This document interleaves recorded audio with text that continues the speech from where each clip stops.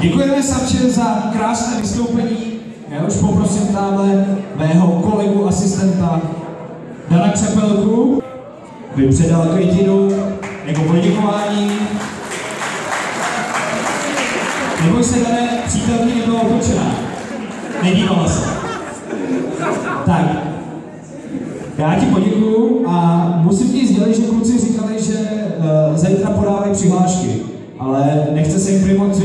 budou dělat jenom servis. Zítra zrovna hodinu mám od 18 hodin večer, tak můžete dorazit. Tak zítra všichni jim šest u Sapči, jo? Takže díky.